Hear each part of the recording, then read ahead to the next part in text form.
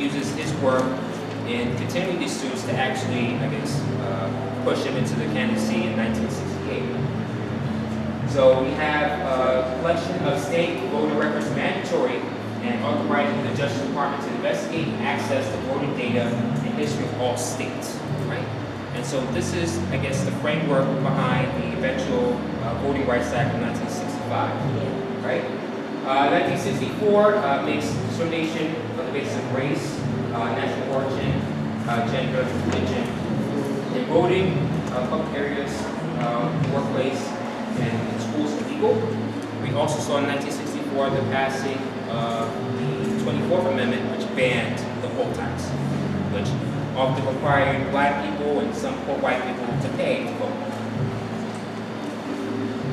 And so in 1965, we saw 250,000 new black voters registered, and one third of them had been uh, examined to make sure that their registrations are valid.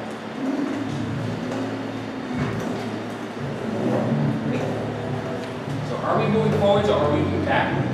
So in 2011, we saw a wave of uh, uh, suppression laws, especially across the South, um, that often, I guess, increase the criteria of the ID required um, for people to, to vote.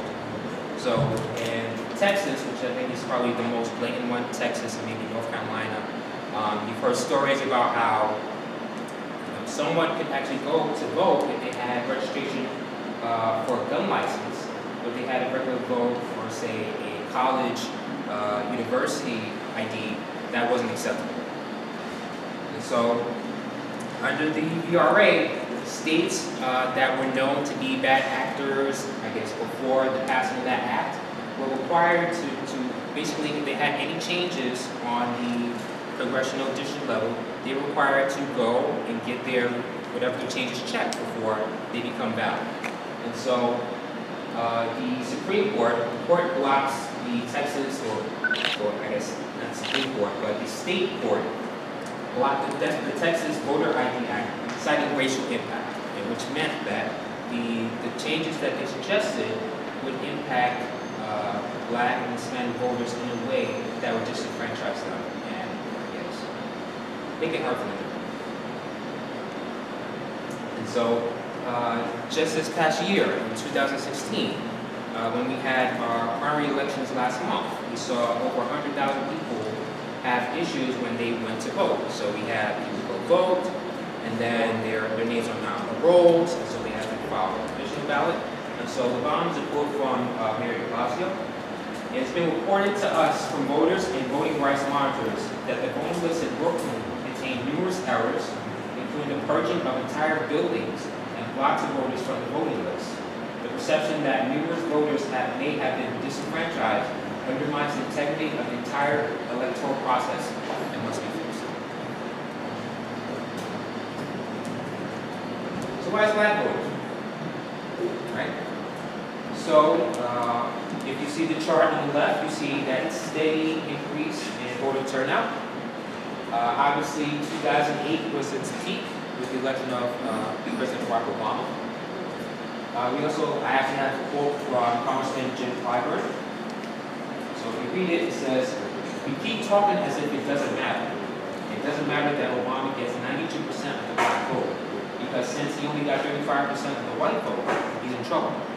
Well, Hillary Clinton only got 8% of the white of the black vote. It's only saying black people don't matter. The only thing that matters is how white people respond. And that's what bothers me. I think I matter. And so, um, right now, uh, Obama has another eight months in his uh, presidency. And so we really have to ask, you know, seeing uh, black people come out in 2012, seeing them come out in 2008, will this be the continuation of really engaging black people to really show up and really you know, get involved and push politicians on issues that are important to them? Or is this going to be really the fall that we will see until maybe the next great black you know, candidate comes up?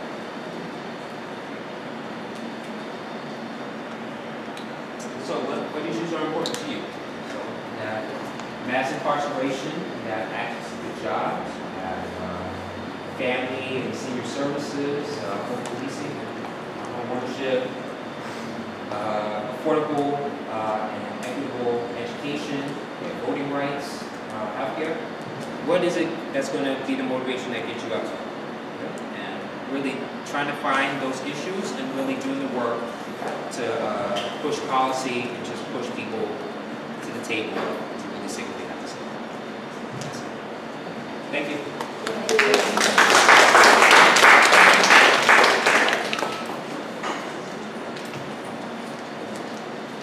Thank you, Mr.